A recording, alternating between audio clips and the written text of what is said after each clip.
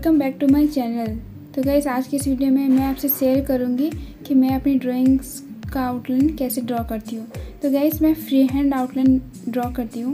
मुझे जितना समय मिलता है, मैं उसको प्रैक्टिस करती हूँ ताकि मेरा आउटलाइन जो है वो और बेहतर हो सके। लेकिन गैस जब मुझे लगता है कि मुझे कोई रियलिस्टिक पोर्ट्रेट बनाना है, तब मैं गेट मेथड का यूज़ करती हूँ। क्योंकि उसमें एक एक लाइंस को हम अच्छे से ड्रॉ कर सकते हैं।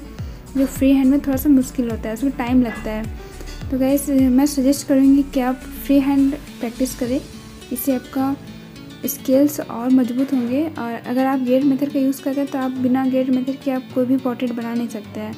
तो वो चीज़ अच्छा नहीं होता है। इसीलिए मैं आपको सजेस्ट करूँगी कि आप फ्री हैंड ही आउटलाइन ड्रॉ कीजिए। गैस मैं अधिकतर पोर्ट्रेट अपना फ्री हैंड ड्रॉ करती हूँ। उसका जितना आउटलाइन होता है, मैं फ्री हैंड बनाने की कोशिश करती हूँ। बस कुछ एक पोर्ट्रेट है जिसको मैंने गेट मेथड से यूज़ किया है। तो आप मेरे कुछ वीडियोस में देख सकते हैं, उसमें दिखाया गया है कि गेट मेथड का यूज़ है। उसमें दिख रहा है कि मैंने गेट मेथड का यूज़ किया है। तो वैसे इस तरह से अगर आप फ्री हैंड आउटलाइन करते हैं तो इससे आपको प्रैक्टिस भी रहेगा और दूसरा आपका ड्राइंग स्किल भी ज़्यादा मज़बूत होगा। तो गाइस मैं आपको सजेस्ट करूँगी कि आप ज़्यादा से ज़्यादा आउटलाइंस को ड्रॉ करें। कोई एक रफ पेज लीजिए। और उसमें जितना हो सके उतना आउटलाइंस को ड्रॉ कीजिए। पहले तो स्ट्रेट कर्व ये सब लाइन को आप अच्छे से प्रैक्टिस कर लीजिए। उसके बाद आप रोज़ एक पोर्ट्रेट का आउटलाइन ड्रॉ कीजिए। अगर आप रोज़ एक पोर्ट्रेट का आउटलाइन ड्रॉ करते हैं या फिर किसी भी ऑब्जेक्ट का तो आपका ड्राइंग स्किल्स बहुत अच्छा हो जाएगा। वैसे भी कोरोना टाइम चल रहा है तो आप घर पे ही हो तो आपके पास टाइम ही टाइम है।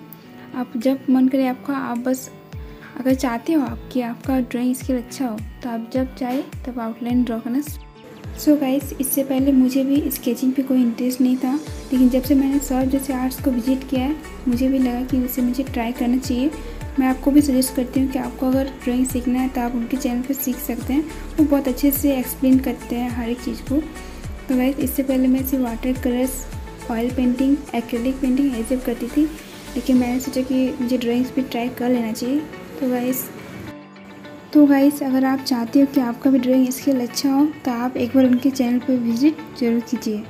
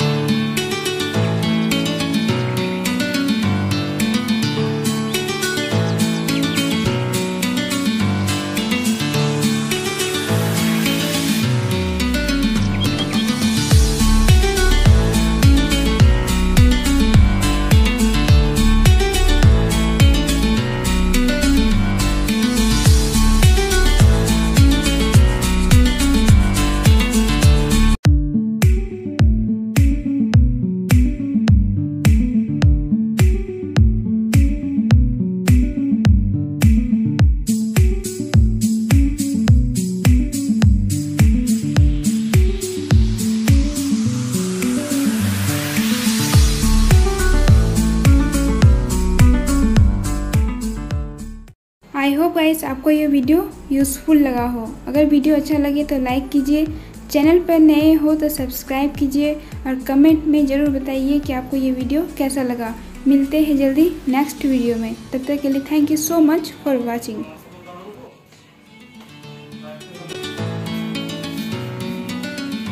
Valeu.